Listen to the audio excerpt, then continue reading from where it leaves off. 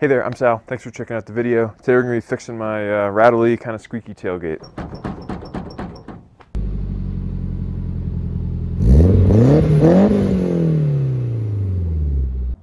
So I got the idea to do this last summer when I love driving around with my windows down, having this back window open, slit open, and just having all the airflow through there. But what's super annoying is driving around and hearing this squeak the whole time. You don't even have to be going off road or anything. Just like little bumps, get it moving, and it's just so freaking annoying. So um, a lot of times I'll just leave the back window closed. But then I was on the Facebook group, the First Gen Tundras Facebook group. If you're not a member, I recommend it.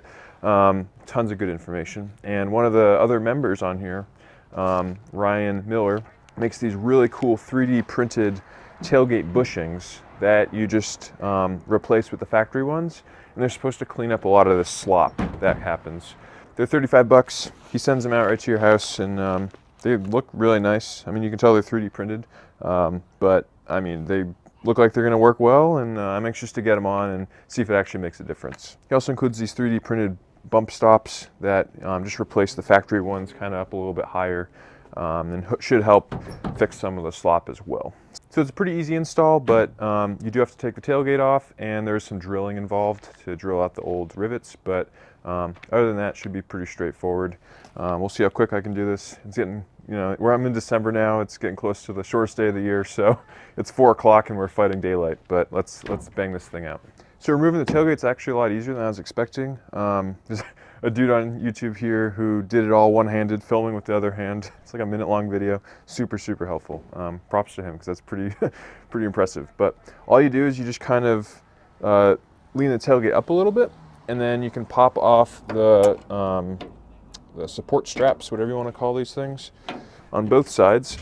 It's really simple. You just kind of peel back this metal tab if you have it there, and then it just slides right up and off. And then um, you just kind of pitch it up to around 45 degrees and it'll just slide right out from the right side and then it pulls out on the left. Now, my truck, I installed a backup camera, so I have this wire that's running out the bottom and into the, the, the bed here. So I can't just bring it into my garage or something. So what I did, I laid down a carpet here, a mat, and I'm just gonna lay it in here and work side by side.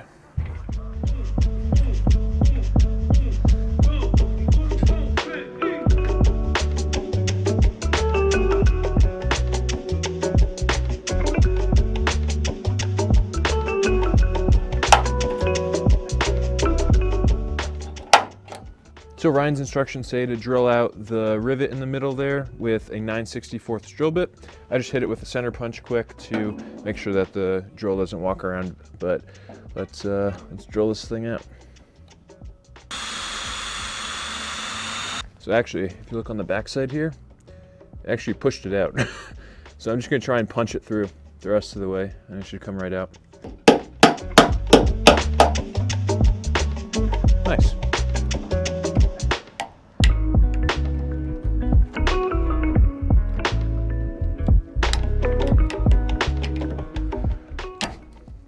Here's a quick comparison of what's coming out versus what's going in.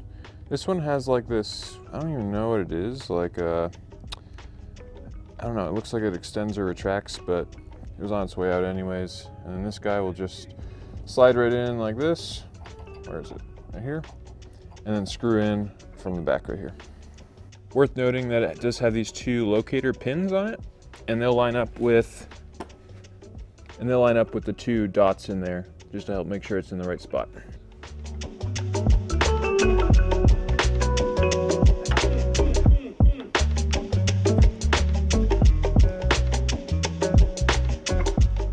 So the problem I'm running into here is that you can see that the bottom of this is circular and then over here it kind of like juts in. So I don't know if this is bent or the factory one that I took out has like a flat spot there. So I don't know if it's supposed to have a flat spot to fit up against that. Um, and this one just doesn't have it. So I don't know. I'm not, uh, not too sure about that.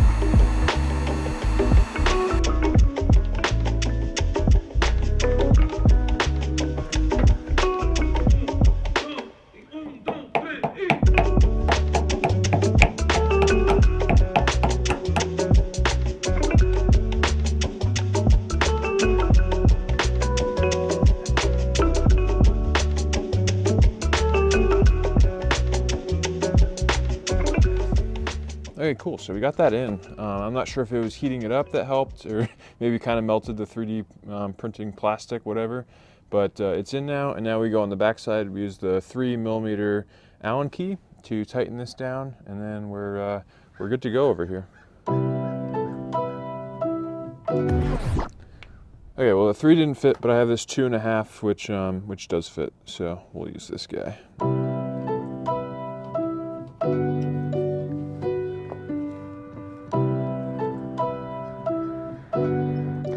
Okay, cool. Now we'll do the same process on the other side here. We'll just try to swing this around.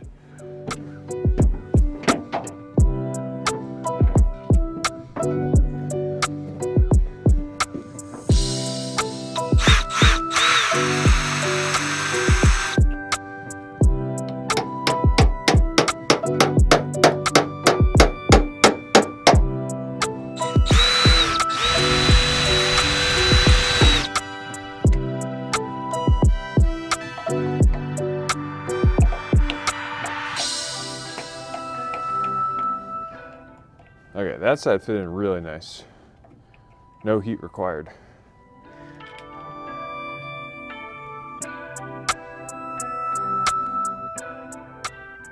Well dang, it was easy as that. This side went a lot smoother um, without having that cutout, but uh, just a little bit of heat. I don't know if it's just because it's freezing out here, um, but yeah, got both sides in. Now we'll reattach the tailgate.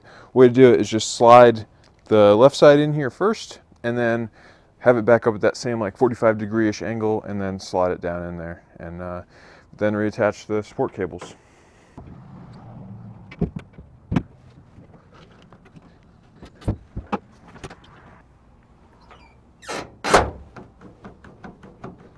Wow. Look at that. It's not moving at all.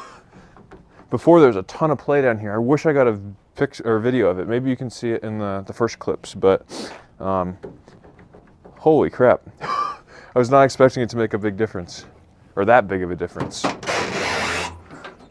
Okay, maybe they need to be uh, lubed up a little bit, but dang. That's crazy. Okay, yeah. I'd recommend a little bit of white lithium grease on the inside. Uh, I'm gonna do that right now.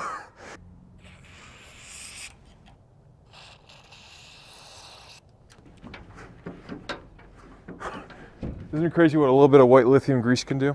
But uh, yeah, I mean, dang. Look at that. No movement at all. It's crazy. So like I said, he also supplies these rubber bump stops that will replace the factory ones right here. So I'll pop this guy out and then throw this new one in. You can do that on both sides. And then let me close the tailgate. Actually, tailgate's not really closing with his bump stops in there. I probably have to really slam it shut. Yeah, I don't know. But it's closing really good with mine, so I'm probably just gonna put the old ones back in and then uh, call it there. So we pop the old ones back in and then, yeah, it shuts, shuts good now, so good to go. But it is nice that he provides them as an option if uh, you need to do it on your truck. I'm super happy. Um, huge thanks to Ryan for uh, making these things. Really cool. He seems like a really cool dude. I was talking with him a little bit uh, after I bought him, and yeah, he um, you can find his stuff on Facebook if you just search um, Tailgate Rattle in the First Gen Tundra's Facebook group. Um, but he also has an Instagram. It's B40 Built. I'll have it uh, on the screen and link down below too. Um, go check it out. Send him a message if you want some of this. He also has some other cool goodies for the First Gen Tundras. He's got like a um, gas cap holder because they tend to break, and then um, like a switch panel for the where the sunglass holder is. He makes one of those too, all 3D printed, which uh, I think is just really cool. So if you want to support another, um, you know, first gen Tundra owner, small business sort of deal, um, go check out his stuff. He seems like a really cool dude. So uh, yeah, that's it for today though. Super happy with this. Um, thank you so much for watching. Thanks for subscribing and have a great rest of your day. Thank you.